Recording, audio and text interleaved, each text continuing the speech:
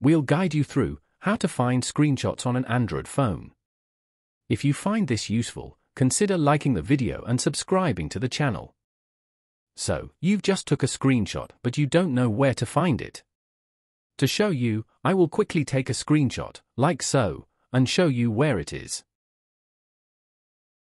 To find the screenshot, simply go into your photos.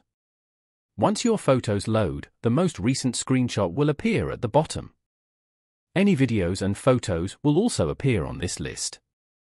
If you want to look through screenshots only, click on Albums at the very top of your screen. Now pick the Screenshots folder. Here you will see a full list of any screenshots that are saved to your phone. These will be in order of date taken, with the most recent at the bottom, and obviously the oldest, at the top. And that's all there is to it. Don't forget to like the video and subscribe to the channel if this has helped you out.